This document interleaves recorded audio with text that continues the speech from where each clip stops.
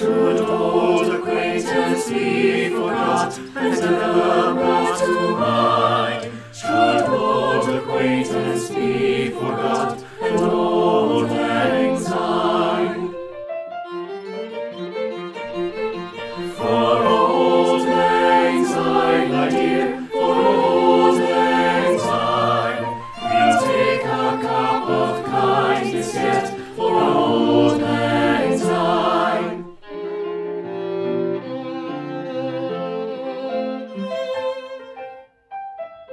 The good old song of Wahoo we'll sing.